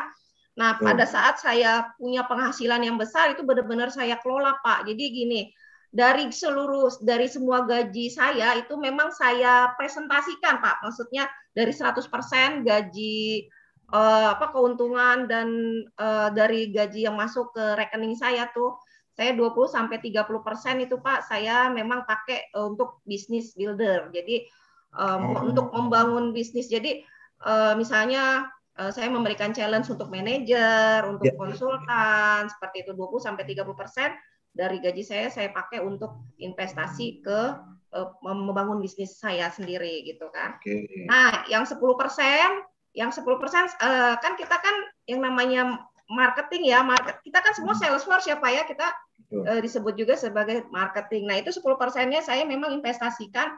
Uh, kan semua impian ibu-ibu itu pengen uh, kalau kita punya uang nih, ya, seperti uh, kalau saya kasih training tuh impian ibu apa bu nanti kalau mau punya uang gitu kan? Saya pengen beli perhiasan, saya pengen mempercantik diri, saya pengen punya baju. Nah itu 10% memang saya budgetkan untuk uh, investasi ke uh, performance ya Pak ya. ya. Performance untuk apa untuk ya kalau kita mau per party itu kan pasti kita pengen uh, tampil dengan cantik ya Pak ya. Tampil dengan cantik, uh, pakai baju yang bagus, menarik supaya apa? Uh, kita punya daya tarik yang baik, yang bagus gitu supaya uh, ya kalau perlu uh, orang nggak usah minta diskon lah ya gitu. Uh, jadi kita punya uh, punya nilai performance yang bagus sehingga orang kayaknya kalau mau nawar takut juga nih kalau performance kita bagus. Jadi memang uh, saya untuk uh, kecantikan, untuk performance itu memang ada budgetnya. Karena kan kita marketing ya Pak ya, karena itu aset kita. Nah 10 persennya itu saya memang pakai ya untuk uh, rekreasi. Karena kan kita udah kerja capek ya Pak ya, kerja capek kita perlu relaksasi. Kalau ibu-ibu sih sayanya sih pengen ke salon, pengen pengen uh, melepas lelah gitu. Nah, sisanya tuh Pak, sisanya memang saya selalu investasikan uang saya ke aset untuk membangun aset. Nah, sampai dengan saat ini dari mulai saya berbisnis Tupperware, saya aset saya juga udah lumayan uh, lumayan ada Pak sampai sekarang gitu kan. Ya, saya ya. udah punya kantor sendiri. Dulu tuh hmm. saya gini Pak, setiap masuk gaji saya eh, tiga sampai empat bulan itu pasti saya simpan di rekening Nanti kalau udah tiga bulan saya uh, jadikan deposito, gitu. Oh, iya. Saya selalu uh, uang saya saya pindahkan ke deposito setiap 3 sampai empat bulan supaya apa? Aman karena kan kalau di rekening bawaannya ibu-ibu tuh pengen gesek terus. Jadi setelah tiga bulan sampai empat bulan tuh gaji uh, yang sekitar 40 sampai 50 persen ada di rekening itu saya selalu pindahkan ke deposito. Jadi uh, selama setahun itu saya sudah punya 2 sampai 3 lembar deposito sehingga setelah saya kumpul-kumpul ternyata saya punya memang di rekening saya nggak ada ternyata saya punya aset deposito dan beberapa uh, juga saya belikan tanah ya kan jadi pada saat saya mau ada penawaran punya uh, punya lahan untuk membuat kantor di samping rumah nah itu aset-aset saya ternyata oh saya nggak ada uang sih di rekening tapi uh, saya punya aset dalam bentuk tanah, dalam bentuk deposito, deposito setelah dikumpulkan itu terkumpul semua gitu. Ya, Selain ya. itu juga saya ya pasti saya senang beli perhiasan emas karena kan kita senang ibu-ibu pokoknya senang perhiasan sih bu pak tapi nggak terlalu menyolok sih saya nggak pengen terlalu menyolok. Selain buat branding juga buat investasi tadi gitu ya? Iya iya betul. Nah tadi tadi uh, itu itu udah udah merekap semua nih apa apa yang ternyata ibu-ibu yang apa ibu yang lakukan dalam hal mengelola keuangannya sehingga uh, ketika diperlukan alhamdulillahnya pas lagi memang sudah uh, mulai merintis itu ya tadi apa mulai iya. Mulai uh, deposit mulai uh, melihara aset tanah dan lain sebagainya. Nah uh, menurut Bu Yana kalau ada sekarang apa namanya uh, instrumen untuk misalnya melakukan suatu hal yang sama tapi lewat lebih sekarang lebih canggih lah menyesuaikan dengan kondisi yaitu lewat aplikasi seperti yang tadi disampaikan menurut Bu Yana itu gimana? Ya menurut saya sih memang itu segala sesuatunya harus dipelajari ya Pak ya. Jadi okay. memang benar-benar harus kita pelajari dulu. Saya ya. juga banyak tuh Pak yang yang nawarin seperti itu banyak. Cuman uh, memang sih kalau yang sudah saya lakukan selama ini kan memang uh, kita pengen uang cepat gitu ya. Uh, saya kan kalau saya pernah juga investasi di asuransi, saya asuransi investasi, tapi pada saat saya mau ambil ternyata uh, saham lagi turun, lagi rusak. Aduh, jadi akhirnya uh, uang saya berantakan juga tuh di aset investasi itu. Akhirnya saya sih aman uh, aman aman aset saya tuh di deposito. Jadi pada saat saya mau ambil saya tarik itu ada kan karena kan deposito berjangka ya pak ya. Satu bulan tiga bulan gitu. Kira-kira dalam satu bulan ini kita nggak pakai ya udah kita taruh di deposito satu bulan. Tapi kalau uh, sekarang kayaknya sih aset emas ini udah mulai uh, sudah mulai uh, naik sih pak. Sudah mulai banyak yang berinvestasi di situ. Ya. Tapi ya, memang harus dipelajari betul-betul. Harus dipelajari dari ya. dari apa yang ada ya. Baik, Bu Yana nih terakhir nih. Jadi Ibu kan udah punya investasi tentunya untuk uh, beruntungnya tadi kita ada di bisnis ini adalah seperti yang tadi Pak uh, Pak Thomas Safir bilang itu adalah penghasilan kita yang tidak terbatas. Nah, uh, penting BOP menurut uh, Bu Yana bagi Bu Yana.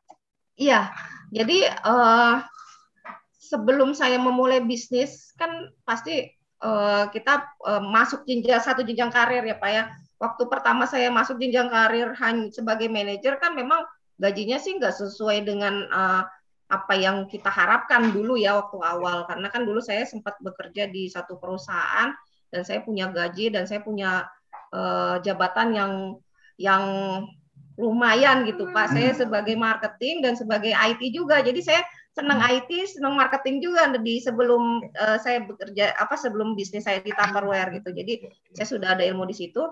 Nah, kalau pada saat saya bandingkan sih orang bekerja dengan orang bisnis memang jauh banget ya Pak ya.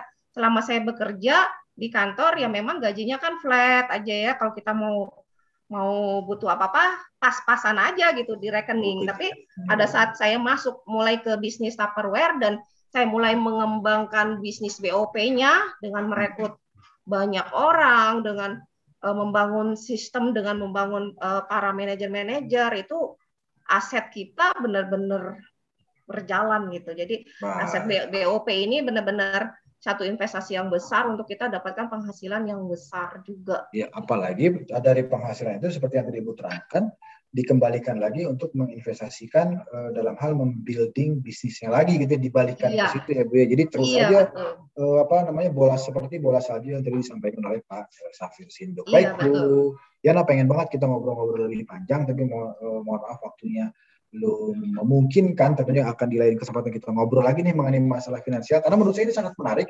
Nanti kita adakan lagi ya Bu Yana ya. Karena iya, iya. Uh, selain kita tahu bagaimana cara mendapatkan uang mengelola keuangan juga tidak kalah pentingnya beserta instrumen-instrumen yang sudah uh, tersedia uh, saat ini seperti contohnya saat ini adalah treasury misalnya. Baik baik terima kasih Bu Yana. Sahabat Tupperware jangan ke mana-mana dulu karena kita ada quiz habis ini ya kan Nah, eh, untuk pertanyaan pada kuis ini akan mengacu pada pembahasan yang juga tadi sudah dibawakan oleh Mas Safir nih, sahabat Tupperware. Pemenang dari kuis ini juga pastinya akan dipilih berdasarkan eh, sahabat Tupperware yang menjawab benar dan paling cepat. Itu yang paling penting ya. Paling cepatnya penting, tapi harus benar. Benarnya penting, tapi harus paling cepat. Oke, kita eh, pastinya akan mengandalkan kolom chat ya Uh, Bu Yana juga boleh ikutan kalau mau. ya. Sip. Nah, masing-masing pemenang akan mendapatkan voucher emas digital treasury senilai 25.000. Hah, cuma 25.000? Eh, ingat tadi di treasury sudah mulai bisa berinvestasi mulai dari 5.000. Oke? Okay? Nah, eh, kita akan kan pertanyaan pertama. Kita ada lima nih, kalau bisa cepat dijawab, kita akan cepat ke pertanyaan selanjutnya. Waktu kita tidak lama lagi, hanya tujuh menit lagi. Baiklah, sebutkan dua dana yang harus dipersiapkan dalam mengatur finansial keluarga. Ayo, contoh dua dana aja. Tadi sebenarnya ada banyak. Dana ini, dana ini, dana ini, dana ini, misalnya gitu ya. Tapi sebutkan dua saja. Kalau yang menyebutkan dua yang benar, nanti akan eh, mendapatkan hadiahnya pastinya. Waduh, waduh, waduh, waduh, waduh, waduh, banyak sekali, banyak sekali, banyak sekali, banyak sekali. Baiklah, kita harus melihat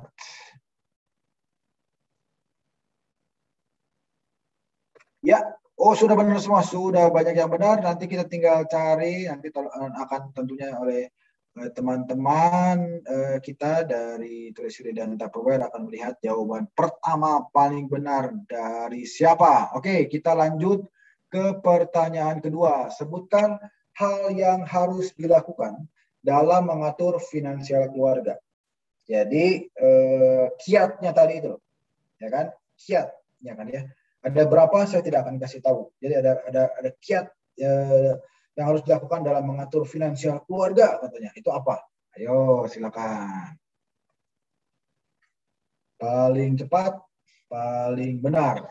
Paling benar, tapi juga paling cepat.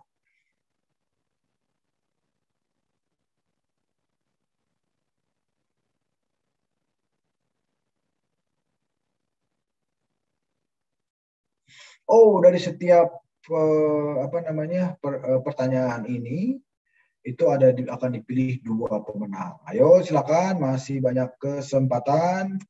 Sudah wah ini sudah 99 message langsung.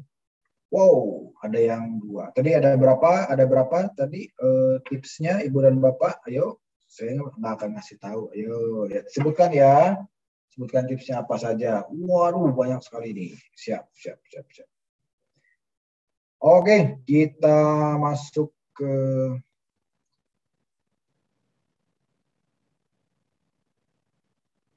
memiliki oh ini Bu Yana.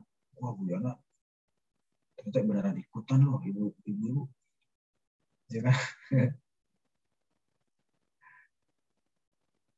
Lumayan ya bu ya dapat eh, voucher. Oh ada yang empat oke kita lihat yang paling pertama dan paling banyak kita lihat pengeluaran. Bentar bentar sebentar. Wah naikin ke atasnya. Saya harus bekerja sama dengan tim ini untuk menentukan pemenang karena setiap dikatasin turun lagi. Oh ini pemenang-pemenangnya seperti ini. Kita tunjukkan siapa yang paling pertama. Nanti kita akan perhatikan. Kita nyari yang pertamanya ini. Yang untuk nomor dua adalah Ibu Siti Fatona, ya kan, pukul 0324. Ibu Siti Fatona punya dana darurat, kendalikan pengeluaran, dan lakukan investasi. Betul ya? Uh, saya konfirmasi dengan tim dulu, apakah betul ini nama pemenangnya? Yang karena yang lengkap dan yang paling cepat. Kemudian siapa lagi nih yang Ibu Tri Wahyuningsih jam 324 juga dana darurat, kendalikan pengeluaran, dan lakukan investasi. Jadi dua pemenang yang paling benar dan paling cepat. Nanti untuk pertanyaan pertama kita akan uh, apa namanya kita menunggu dari tim uh, siapakah pemenangnya. Kemudian untuk yang pertanyaan ketiga, pertanyaan ketiga, instrumen keuangan seperti apa yang sebaiknya dipilih untuk mempersiapkan masa depan? Ayo, instrumen keuangan seperti apa yang sebaiknya dipilih untuk mempersiapkan masa depan. Jadi eh, invest yang instrumen itu seperti apa? Ciri-cirinya yang seperti apa? Oh mas, mas, mas aset itu stok barang. Oke.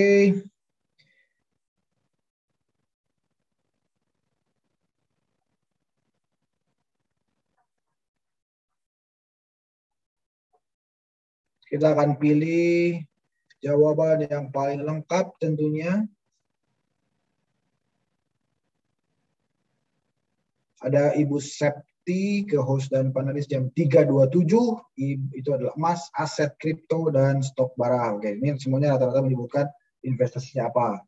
Kemudian ada juga setelahnya adalah Ibu Satriani jam 3.27 yaitu investasi emas dan kripto. Selamat kepada para pemenang. Lalu untuk apa namanya pertanyaan keempat, benar apa salah nih? Kekayaan tidak dilihat dari oh ini benar-benar harus harus cepat-cepatan nih. E, benar apa salah gitu ya? Kekayaan tidak dilihat dari besarnya penghasilan, tapi dilihat dari besarnya investasi. Jeng, jeng. Wah langsung, Uhuh. nanti nanti akan di dicari karena cukup banyak jawabannya. Yang tercepat di sini adalah Ibu Yulita. Entah tuh langsung ke bawah lagi saya. Ibu Yulita mana tadi? Yulita Taulin jam 328. Yang kedua adalah Ibu Irma Rahmadani. Sama jam 328 juga. Baik, selamat. Last but not least terakhir, apakah kelebihan dari menyimpan udah ya yang tadi benar-benar salahnya udah ya apakah kelebihan dari menyimpan emas ayo yang memiliki tiga alasan paling benar, tiga alasan baik, untung, investasi jangka panjang, bisa cepat dijual, bisa dijual kembali dengan harga lebih mahal, harga cepat naik dalam uh, jangka waktu. Oke, oke, oke. Nah, untuk pertanyaan nomor satu dan nomor lima tentunya nanti ini akan direkam dan tentunya akan dilihat oleh tim. Dan pastinya akan kita langsung uh, hubungi uh, pemenangnya. Atau kalau ada kalau ada instruksi lain tentang pemenang ini jadi kita akan uh, apa namanya sampaikan ya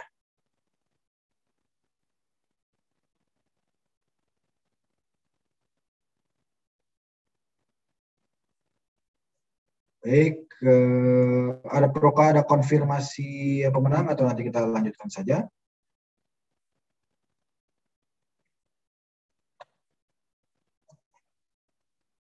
Wah, masih banyak yang oke, baiklah. Terima kasih banyak atas antusiasme, atas partisipasi dan juga atas eh, apa namanya pre, uh, being present atau telah hadir di sini buktinya apa? Buktinya adalah dengan kuis tadi sangat-sangat antusias, semuanya pada bisa menjawab rata-rata jawabannya benar, hanya masalah cepat-cepatannya aja sehingga pemenangnya harus kita pilih dua dari setiap pertanyaan di mana ada total lima pertanyaan dan nanti 10 pemenang tersebut akan kita hubungi dan mendapatkan hadiah in, uh, apa namanya?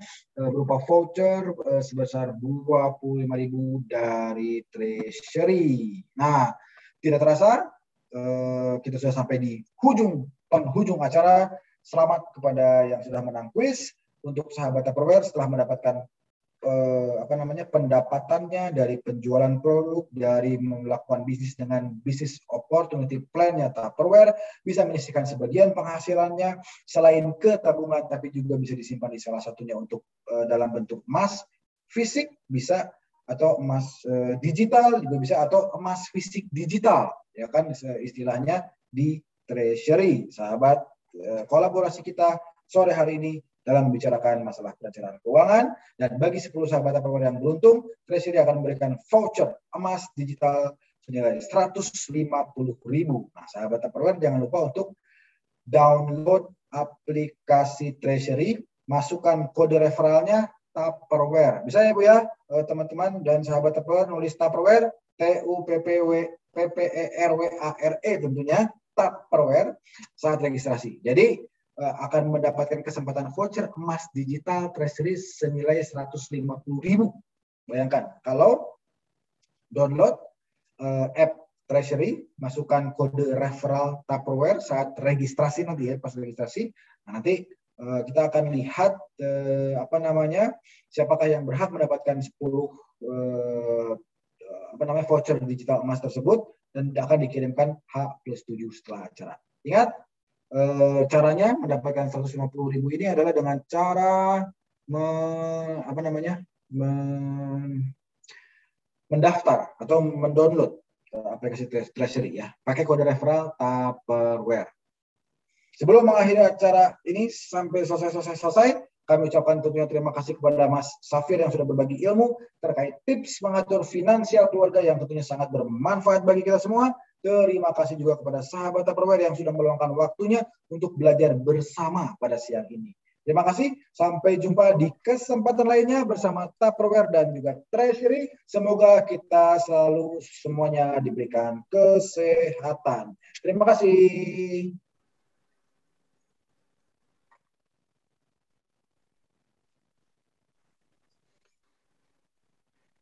Terima kasih Mas Indra.